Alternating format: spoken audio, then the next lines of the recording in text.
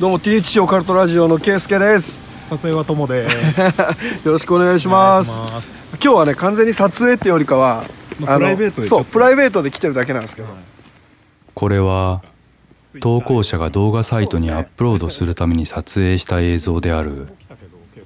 この場所では男性が女性を殺害し死体遺棄をしたという噂があるのだがこの動画に起こる異変と何か関係があるのだろうか続けてご覧いただきたい。こんなに立てんねよなんか立ち入り禁止の看板がすげえ増えたんだよね。そうですね、なんかここ結構釣り人多いじゃないですか、だからなんか釣り禁止とかならわかるんですけど、ね不法投棄とかね。ああそうそうそう。なんかわかるんだけど立ち入り禁止がすげえ多いんだよね。また立ち入り禁止あるって。本当だ。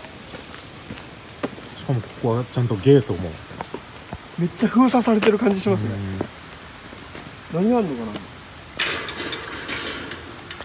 道は結構続いてますね。もう暗くてあんま見えないな昼間来ないとダメだこっち行こうか。そうですね。また立ち入り禁止。ねもう私有地。立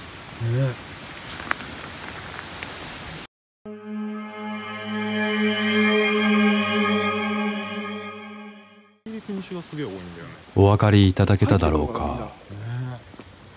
立ち入り禁止の看板を見つけその場所に向かう投稿者たちそして引き返そうとその場所を離れようとした瞬間画面左下に顔とおぼしきものがこちらを覗いているのが見える。な暗くてあんま見えないな。もう暗くて見えない。昼間来ないとダメだ。ねこっち行こうか。そうですね